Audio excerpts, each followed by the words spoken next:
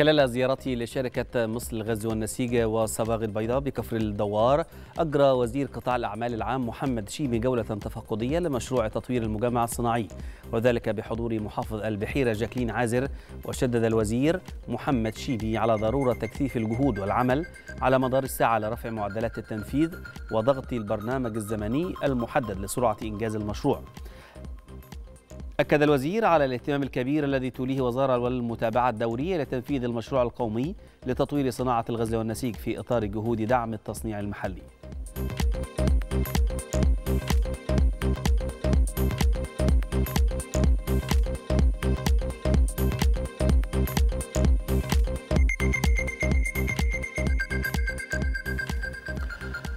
تفقد وزير البترول والثروة المعدنية كريم بدوي أعمال التشغيل التجريبي لكافة الوحدات الإنتاجية بمصفاة ميدور لتكرير البترول بالإسكندرية في ظل الانتهاء من التوسعات الجديدة والتي زادت إنتاجيتها لتصل حاليا إلى 160 ألف برميل يوميا وتوفر الآن 25% من إمدادات البنزين والسولار للسوق المحلية.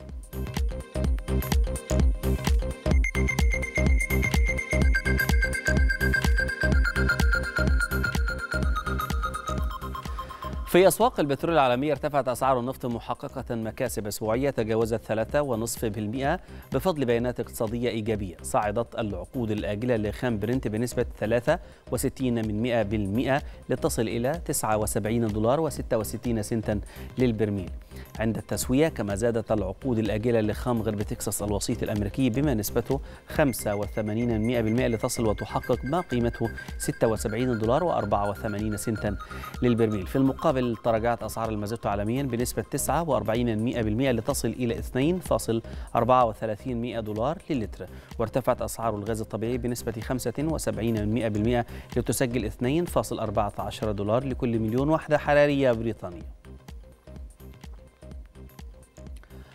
أظهرت بيانات أصدرتها الجمعية الصينية لمصنعي السيارات أن صناعة السيارات بالصين أخذت منحى صعوديا حيث زادت من إنتاجيتها ومبيعاتها من السيارات بشكل مطرد في الأشهر السبعة الأولى من العام الجاري. وفقا للبيانات فقد بلغ إجمالي إنتاج السيارات في الصين من شهر يناير إلى شهر يوليو من العام الحالي إلى ما يقرب من 16 و18 مليون وحدة.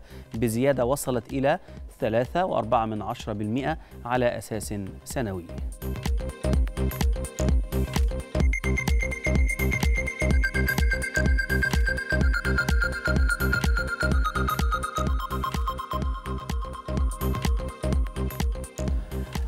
وصلنا معكم مشاهدينا الكرام إلى نهاية هذه الجولة في أخبار المال والأعمال. ونعود إلى زملائي محمد وأدا لاستكمال ما تبقى من أخبار في نشرتنا. شكرا لك مصطفى.